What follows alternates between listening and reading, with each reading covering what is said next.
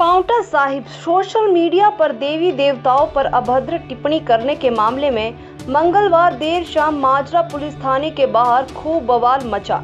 यहाँ दो समुदाय से जुड़े दर्जनों लोगों ने एक दूसरे के खिलाफ नारेबाजी की, जिससे माहौल तनावपूर्ण हो गया है।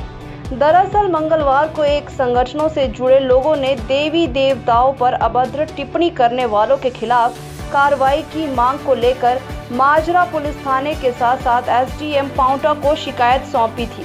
इसके बाद पुलिस ने तीन आरोपियों को माजरा पुलिस थाने में तलब किया, जहाँ दोनों पक्षों के लोग माजरा पुलिस स्टेशन के बाहर इकट्ठे हो गए और एक दूसरे के विरुद्ध नारेबाजी करने लग गए। माहौल तनावपूर्ण होता देख माजरा पुलिस ने अतिरिक्त पुलिस फोर्स मंगवाई है। अतिरिक्त पुलिस अधीक्षक सिरमौर बबीता राणा भी मौके पर पहुँची है।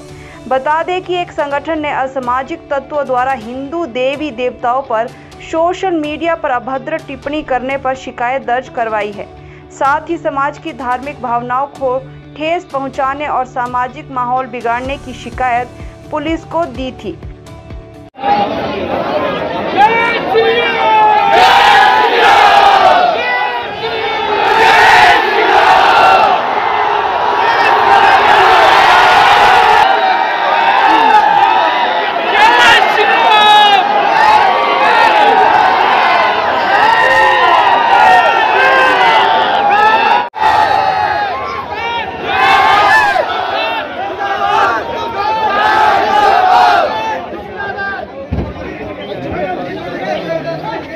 Come on, come on, come on.